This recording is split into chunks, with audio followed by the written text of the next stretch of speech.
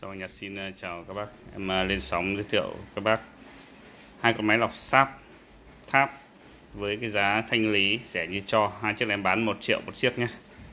Giá 1 triệu một chiếc ạ. Giá trừ phí vận chuyển. Cả hai máy đều đấu biến áp điện 220V rồi. Tình trạng tất cả hoạt động ngon lành hết, bảo hành một năm cho các bác. Hai con đều điện 220V hết rồi các bác nhé. KCD 40 KCD 40 này tình trạng tất cả mọi chức năng hoạt động tốt. Công nghệ ion khử khuẩn, ion, lọc khí bù ẩm, lọc khí bù ẩm, các kiểu nhé. Chung là máy hoạt động tình trạng tốt.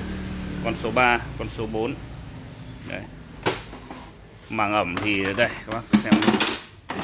Màng tạo ẩm thay mới rồi nhá. Giá thanh lý rẻ như cho luôn một triệu. Đấy. con này thì vẫn màng zin nhé. Có nhé. Con này vẫn màng zin còn đẹp này. Đấy. con này thì đây cũng màng ấm. Cũng thay mới luôn đẹp long lanh này.